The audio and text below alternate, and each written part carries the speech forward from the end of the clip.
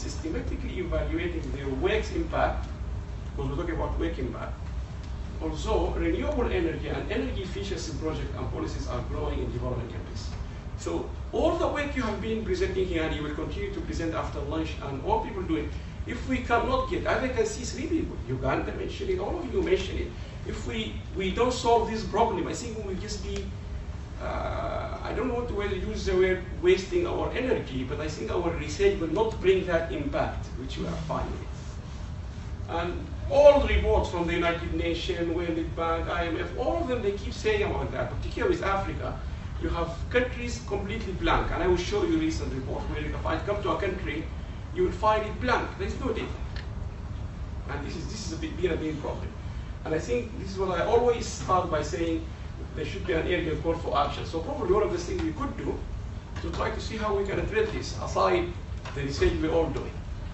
Now, I know you all know this, it's very basic, but uh, whenever people talk about energy in Africa, I would say to people, uh, you need to remind yourself with this is uh, the United Nations 2013 report, very famous. We are, we are talking about 2030, the number of people could lose their life. You remember who mentioned about, uh, oh, the, the, from Zambia, you remember you mentioned that? This is exactly what the United Nations say. So the number of people going to lose their life in Africa, for as one of the developing country of the developing world, will be higher than those who are losing their life from malaria, tuberculosis, HIV. So always, I know you know it, but we need to remind ourselves we are dealing with a very recent issue here. And I, I always, whenever I engage in community activities or the council in London, when people say why ID cards, terror, I keep saying to people, the government have every right to do that because they are talking not about terrorism, they are talking about people losing their life. What is the end result of terrorism? You will be, you will die. So this is the same thing with energy. We are talking about people losing their life. So two issues. Lots of reports from the IMF. I'm quite happy, by the way, to share all these reports, all these links. Anyone can email me. From the United Nations and UN, World Bank, all of them, they are generally agreeing and arguing that the cost of renewable energy is going down. That's one thing. Most of them, they arguing that. And secondly, most of them, they're arguing there is a growing usage of, uh, of renewables in developing countries. But despite that, renewable, we have long way to, do, to go into Africa, but then we, we really need to consider quite seriously the role of the public-private partnership in actually this particular task of renewable energy, then we can actually help in electrifying uh, Africa. So two questions, I really want to address them quickly. Has Africa, by the way, I got that sign like you as well after question, I didn't notice that. So it seems like there is something going on here. That's not my sign. Has Africa benefited from those global uh, trends? I can see the T is missing. I don't know what's going on here. anyway, in this, what are the challenges still facing African countries to grasp such opportunities? And how African governments incorporate the critical role of private sector and PPP in their development strategy. What I have seen so far, even when we were in the UN last two months, many countries, they don't even know how to deal with PPP, how to, to use it, how to deal with the private sector. And that's why the UN uh, Knowledge Center in Bonn is going to, uh, last two months, they just launched it. They're going to run program for the whole UN agencies across the whole world to coach them and train them on how to deal with PPP. Because if someone can't understand what is PPP, how they. Now, I will move from this quickly. Investment in renewable energy is being argued by the World Bank several times. This is one of the big reports, also available online. Therefore, greater volume of private investment will be critical to scale up generation because we're talking about scalability here. And therefore, expand and improve electricity supply. So it's being argued by all of them, World Bank and so on. It's also being argued by people from academia. This is our, I don't know if you know him, he's very famous guy, professor. He's our director at Sussex, of the Sussex Energy Group and the Center for Innovation. Uh, he's well known, and this is one of his papers. He said there is a great need for mobilizing financial resources to expand local energy services delivery in the developing world. And he's been arguing for a long time, pro-poor public-private partnership are one of the best mechanisms to supplement and overcome government, because we all know African countries, by default, they are poor. So let's just take that as a fact. They are poor countries. And we're talking about very expensive things. So he has been arguing, this is again one of the papers. So I'm not going to go through this, but this is a definition of the World Bank about what is BBB, and this is a definition of the United Nations just last in, this, in the recent report, which is just two months ago, about what we mean by partnership. Because you need to educate governments in Africa about what we mean by partnership, and also you need to educate them about what we mean by BBB and how they can work. Now, there are different models in the literature. Uh, lots of them, donation delivery model, cash model, where you can, cash model normally for small, uh, not large scale uh, uh, so, energy sources, if you like. The customer credit, uh, not free, it's fee for service model and so on. There's lots of way going, on.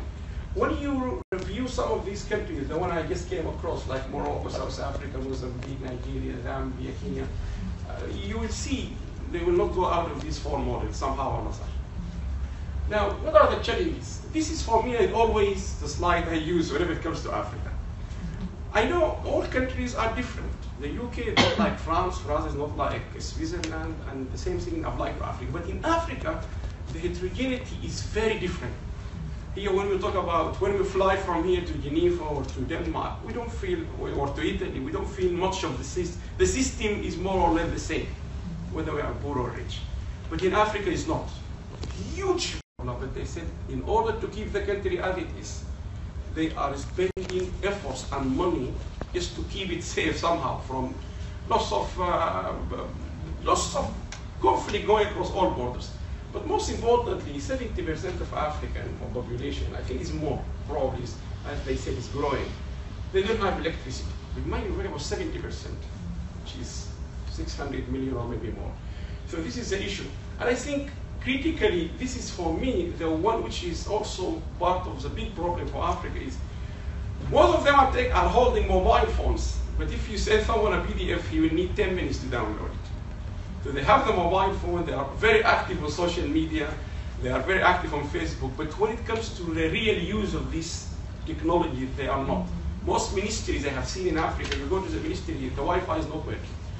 And I have made a call before. I said any, uh, any, uh, any university in Africa should not be given license to operate unless they can have Wi-Fi. Many universities don't have Wi-Fi in the first place. So let's move. Now, this is interesting. This is a big uh, partnership action. Actually, this is all online. You can see the methodology, how they done it. It's a, it's a huge work. This is, I like this work.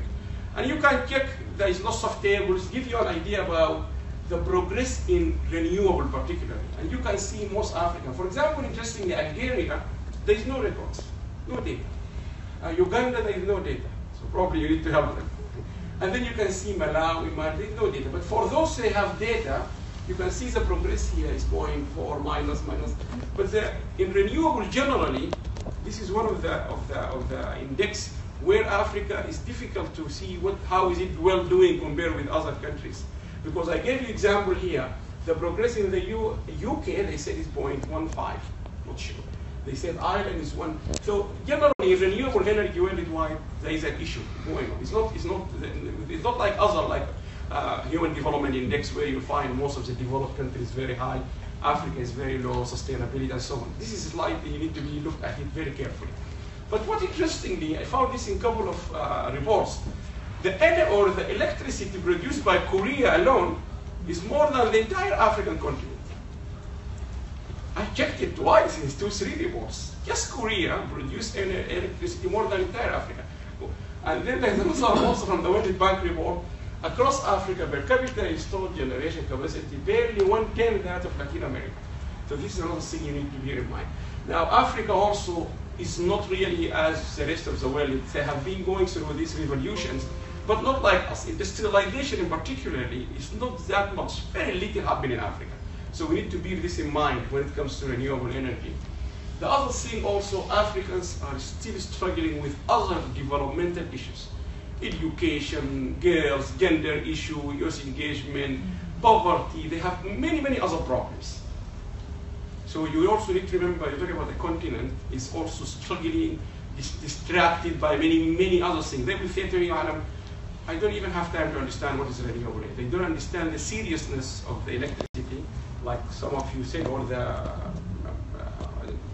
uh, diplomat said, for example, she said, they don't know the importance of this, but they have other things going poverty, education, and so on. So again, Africa is already plunged with many other what I call them global challenges like food production, conflict, and terrorism is really affecting that continent more than us. Water resources, energy, health problems, ecosystem. I'm sure you all know this. I wouldn't spend time on them. One serious thing, because we most of us here, I know we are not all from academia, but this is all led. But this is we are in an academic place, Oxford, uh, BAS, uh, UCL, all of you. In Africa, generally, I'm just giving this generalization. This is a, this is a, being labeled by many reports. They say underperformance in research, state of academic research, is less than satisfactory. So the people who should be our counterpart, probably the professor can give more because he's been, you, you have more exposure to the African, you can maybe come on to that one.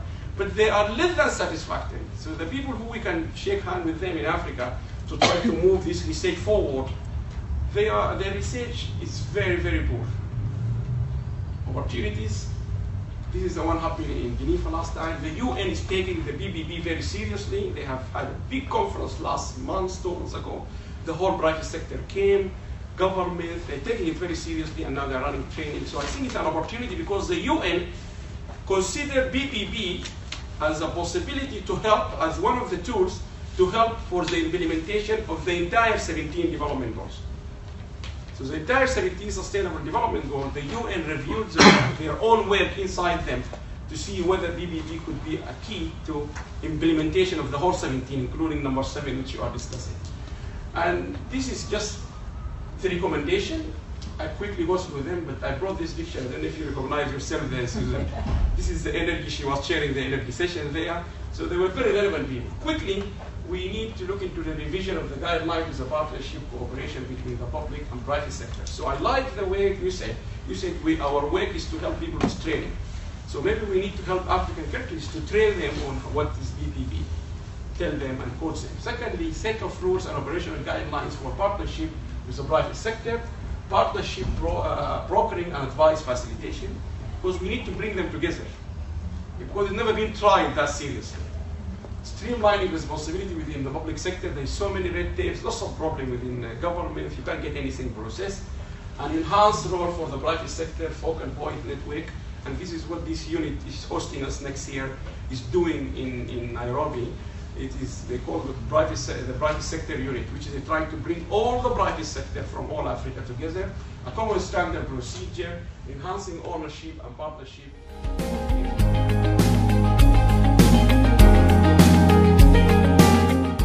So please remember, if we all help and do a little bit, it will make a big difference.